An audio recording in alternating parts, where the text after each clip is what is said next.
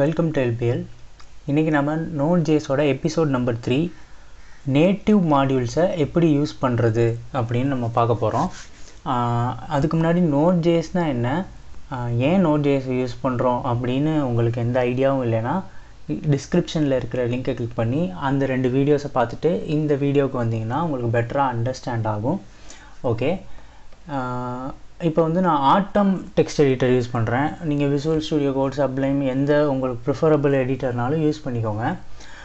எனக்கு வந்து ஆட்டம் வந்து ரொம்ப பிடிக்கும். அதனால் நான் அதை யூஸ் பண்ணுறேன் ஓகே இப்போது நான் என்னோடய ப்ராஜெக்ட் ஃபோல்டரை என்னோடய ப்ராஜெக்ட் ஃபோல்டர் டெஸ்க்டாப்பில் இன்ட்ரோடோ நோட் அப்படிங்கிற ப்ராஜெக்ட் ஃபோல்டரை நான் வந்து சூஸ் பண்ணிக்கிறேன்.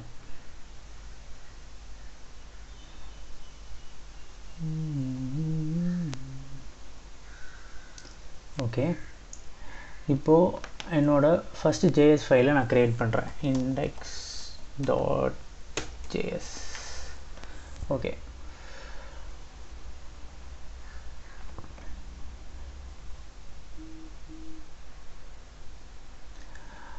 okay இப்போது இப்போ வந்து நார்மலாக நம்ம கன்சோல் டாட் லாக் வெல்கம் இப்போ கன்சோல் டாட் லாகுங்கிறதும் ஒரு நேட்டிவ் மாடியூல் தான். கன்சோல்ங்கிறது ஒரு நே நேட்டிவ் மாடியூல் அதை நம்ம யூஸ் பண்ணுறதுனால அந்த இந்த கமாண்ட் இந்த ஃபங்க்ஷனை நம்ம யூஸ் பண்ண முடியுது லாங்குங்கிற ஃபங்க்ஷனை இப்போது இந்த ஃபைலை நான் ரன் பண்ணி பார்க்குறேன்.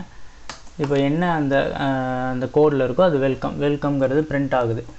ஓகே இது இது நார்மலாக உள்ளது தான் இப்போ நேட்டிவ் மாடியூல்ஸ்னால் இப்போது நோட் ஜேஸ் நம்ம இன்ஸ்டால் பண்ணும்போதே ஒரு சில நேட்டிவ் மாடியூல்ஸ் அந்த பண்டல்லே இருக்கும். நீங்கள் வந்து இந்த வெப்சைட் போனீங்கன்னு வச்சுக்கோங்க.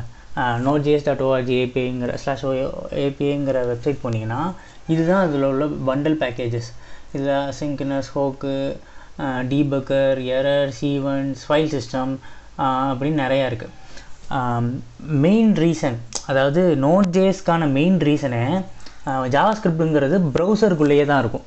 ப்ரௌசரை விட்டு அதுக்கு வேலையே இல்லை. ஆனால் எதுக்கு வந்து இப்போது நார்மலான ஒரு ப்ராஜெக்டில் என்ன பண்ணுவோம்?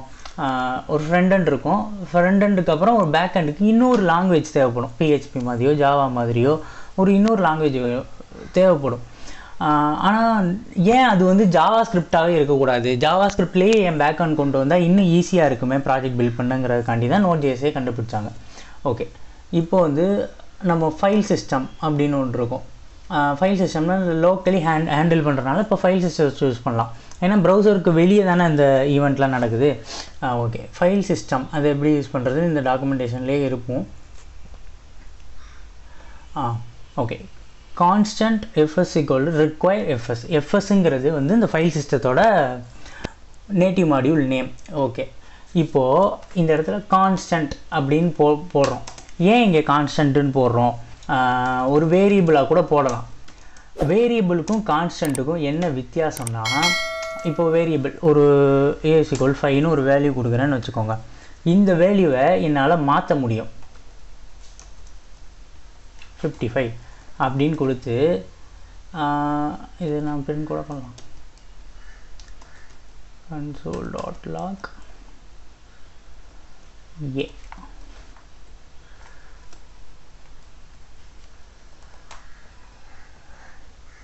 இப்போ நம்ம இதை ரன் பண்ணலாம். ஃபிஃப்டி ஃபைவ்ங்கிறது அந்த ஏல ஏற்கனவே நம்ம என்ன கொடுத்துருந்தோம்? ஃபைவ் அந்த ஃபிஃப்டி ஃபைவ்ங்கிறது மாறிடுச்சு. வேரியிங் த வேரியபிள் அதாவது வேரியபிள்னால் வேரியிங் த வேல்யூன்னு சொல்லுவாங்க. ஓகே இந்த இடத்துல இப்போ கான்ஸ்டன்ட்னு கொடுக்குறேன்னு வச்சுக்கோங்க. அது திருப்பி ரன் பண்ணி பார்க்கலாம். இங்கே ஒரு எரர் தட்டுதா? ஏன்னா இது assignment to the constant variable இது வந்து ஒரு கான்ஸ்டன்ட் கான்ஸ்டன்ட்னா என்ன? மாறாது. அதனால தான் இங்கே கான்ஸ்டன்ட் ஏன்னா எஃப்எஸ்ங்கிறது நம்ம மாற்ற போகிறது கிடையாதுல்ல. அதுக்காண்டி தான் கான்ஸ்டன்ட் அப்படிங்கிறத வந்து கான்ஸ்டன்ட் வேரியபிளில் அந்த ரிக்வயர் ஃபங்க்ஷனை கால் பண்ணுறாங்க ஓகே இப்போ வந்து நம்ம மாடியில் இது பண்ணலாம். கான்ஸ்டன்ட் எஃப்எஸ் ஃபைல் சிஸ்டம் என்ன வேணால் போட்டுக்கலாம். உங்கள் உங்களோட நேம் இதுதான். ஃபைல் சிஸ்டம்னே நம்ம போட்டுக்கலாம். ஃபைல் சிஸ்ன்னு போட்டுக்கலாம்.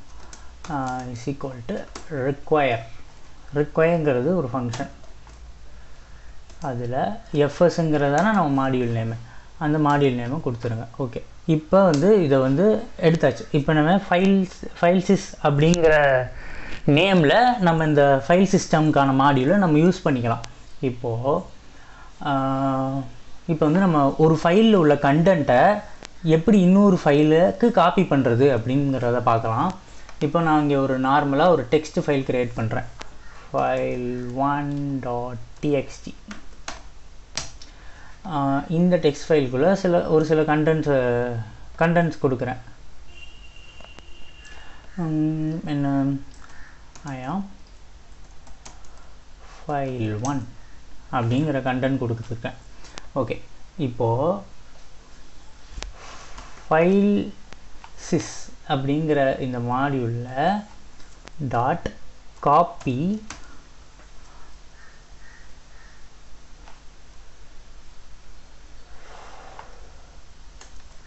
ஃபைல் சிங்க் அப்படிங்கிற ஒரு ஃபங்க்ஷன் இருக்குது இந்த ஃபங்க்ஷனை கூட நீங்கள் இங்கே போய் பார்த்துக்கலாம். காப்பி ஃபைல் சிங்க் அப்படிங்கிற ஃபங்க்ஷன் இருக்கும். ஃபைல் பாத்ஸ் ஓப்பன் நிறையா ஃபங்க்ஷன்ஸ் இருக்கும். நீங்கள் நம்ம இதில் எதை வேணால் யூஸ் பண்ணிக்கலாம்.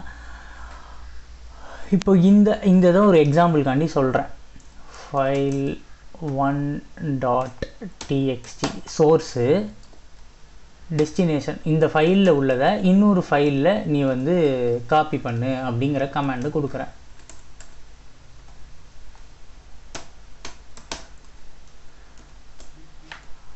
ஆனால் இங்கே வந்து ஃபைல் டூ இல்லை.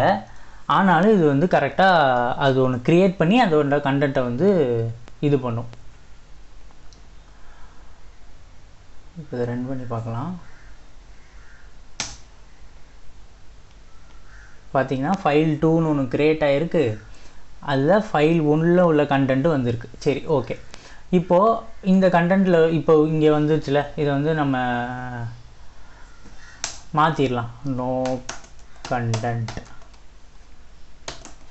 இப்படின்னு மாற்றியாச்சு இப்போ நான் திருப்பி இதை ரன் பண்ணி பார்த்தேன்னா அந்த கண்டென்ட்டு புதுசாக ஒரு ஃபைல் க்ரியேட் பண்ணாமல் ஏற்கனவே அந்த ஃபைல் இருக்குன்னு அதுக்கு தெரிஞ்சிருச்சு.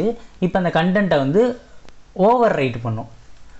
இப்போ இதை திருப்பி ரன் பண்ணுறேன் இப்போ பார்த்தீங்கன்னா இந்த நோ கண்டென்ட்டுங்கிறது ஓவர் ரைட் ஆகிடுச்சு ஓகே நெக்ஸ்ட்டு எபிசோடில் வந்து எப்படி எக்ஸ்டர்னல் மாடியூலை வந்து எப்படி நம்ம நோட் ஜேஎஸ் ப்ராஜெக்ட்குள்ளே இம்போர்ட் பண்ணி யூஸ் பண்ணுறதுன்னு பார்க்கலாம் thank you stay twenty LPL